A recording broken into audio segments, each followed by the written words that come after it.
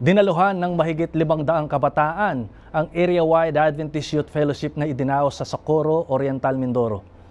Doon sila ay nahikayat at nagkaroon ng bagong inspirasyon sa kanilang paglilingkod at pamumuhay bilang mga Adventistang kabataan.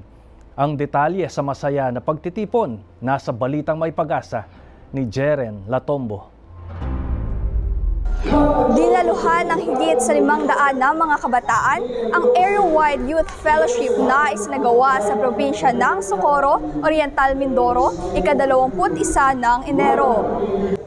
Binigyang diin ng kanilang guest speaker na si Pastor Hanifer Solano ang kalakasan na kailangan ng mga kabataan para sa pangkasalukuyang panahon na nababalot ng teknolohiya at pagbabagong pangmundo. Ay, uh, sobrang nakakatuwa. Uh, talagang ito po ay makikita nyo na maraming kabataan ang nakilahok. In behalf po ng Amangyan Federation, naisip po namin ang temang ito upang mapasimulan ang taon ng mga kabataan na mas maging malapit at mas maging aktibo sa gawain ng ating Panginoon. Dahil sa panahon ngayon, sabi nga kanina ay nandito na tayo sa napaka-crucial na panahon na kung saan ay maagaw yung ating mga, mga oras na ito ay gamitin natin para hindi masayang yung oras natin at magamit natin sa tama at lalong nandun tayo na naglilingkod sa ating Panginoon. Samantala, naging makahulugan ang ginawang fellowship dahil sa ilang mga naging karanasan ng mga kabataang dumalo.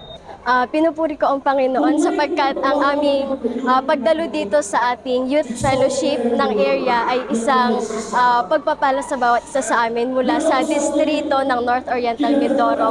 Actually, nung una akala ko hindi na kami matutuloy kasi sa lugar namin ay malaki yung tubig, especially sa nauhan na dadaanan namin. Talagang napakalaki ng tubig.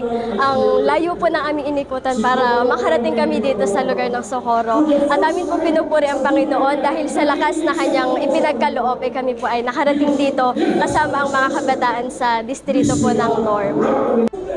Ayon pa sa kanya, naging isang pagpapala ang inisyatibo ng mga matanda sa iglesia ng kanilang distrito sa pagsama sa kanila kahit na ang karamihan ay kinailangang mag-commute at dumaan ng malayong lugar para maiwasan ang baha na maaari nilang sagupain para makarating sa fellowship.